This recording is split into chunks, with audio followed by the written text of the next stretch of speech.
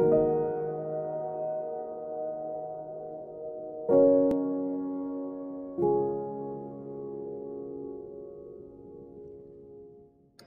I'm Gabriele Calabrese and we are in Piazza San Michele in the heart of uh, Lucca town.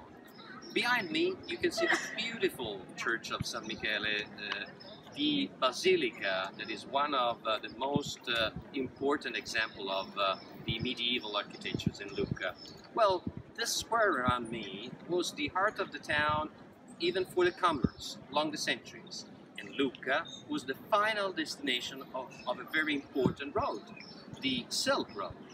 And uh, here we had the market. That church showed the evidence of this uh, period of glory that Lucca had at that time. You can see behind me we have marble. Everything is shining because it's marble that is coming from uh, the marble quarries uh, that we have on the Apuan Alps, just behind here. But thanks to this marble, that is uh, we have the evidence of the silk uh, trade. This church still preserved after eight centuries uh, graffitis that the merchants uh, they left to show the several uh, uh, trades and passages that they had to do to bring the silk to Lucca, the sack of silk to Lucca. And it's amazing because uh, here it's possible to see an harbor, a town with all the walls, the domes, uh, and even the calligraphy of the merchants that in 13, 1330 with the Gothic calligraphy they signed their names on the wall. At this moment I am in a little fortress, like a square, that is called the Piazza dei Mercanti or Loggia dei Mercanti, because we had a loggia originally here. And uh, merchants in silk. This was the place in which we had marketing which is the evidence that this was the place. This old door, where you can see this relief with a, a kind of salami, looks like that, but it's not a salami, it's not a sausage, it's a sack of silk that was coming from the Orient. Yeah? Well, this symbol is still present in the paper, in the official seal of the Chamber of Commerce in Lucca. In Lucca, we still have the tradition of the silk. Uh, still going on because uh, we have uh, artists, I call them artists, like Jenny uh, in this shop. they're still in 2019 able to weave the silk in a modern way. So we go inside and I will show you.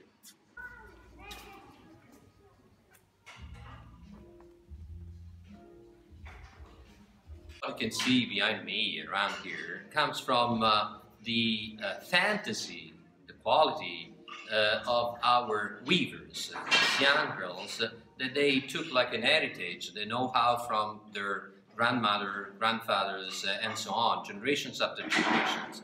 But nowadays, these Italian girls are able to produce uh, with fantasy and modern uh, design.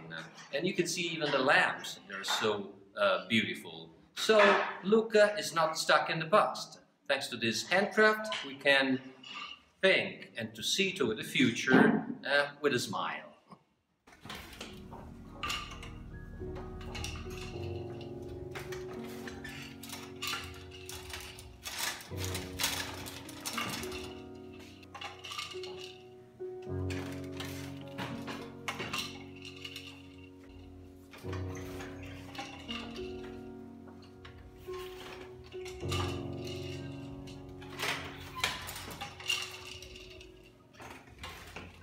Weaving the silk uh, long the centuries brought to the Italian language, in this case uh, to the local uh, language of Lucca, Lucchese, a way to say that it's alliccia, alliciare, that it means be quick.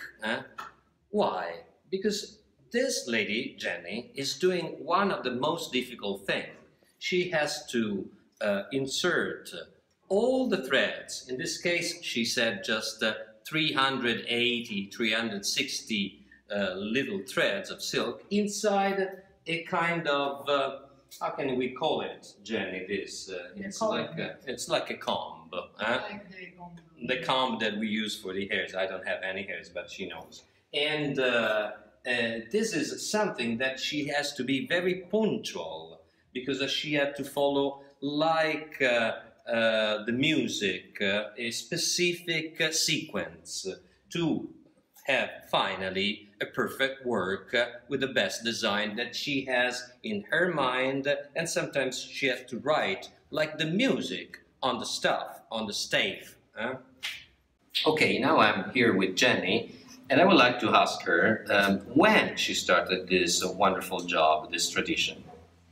I started um, about uh, 12, 13 years uh, ago, but just for fun. I, I, I didn't I didn't know that uh, it would be my job um, For the future. because I mm, I'm a musician and I spent all my life to playing the harp, and I found uh, the loom very similar to the harp. And uh, slowly, slowly, I fall in love with the loom, and I found really many, many Connections. connection with the music.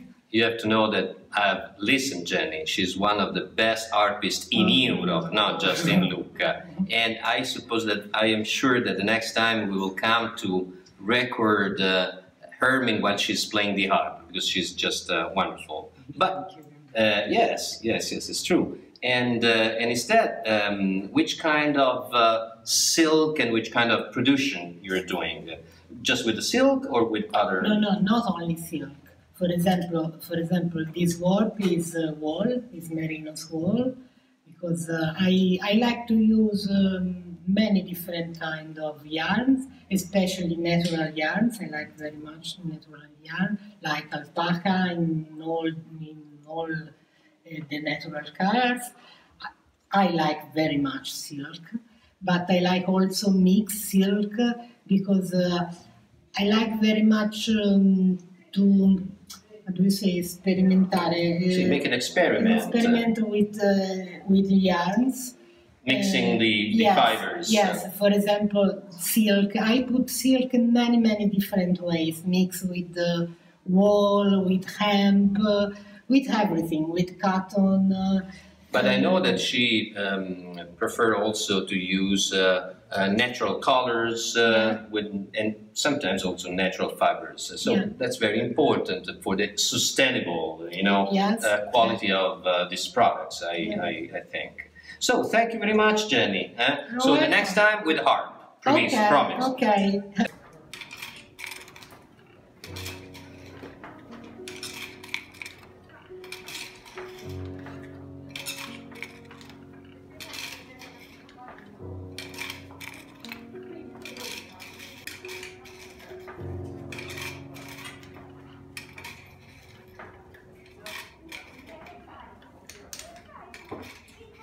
We are in Via Filungo now. It's very busy. It's like the red thread that connect all the town.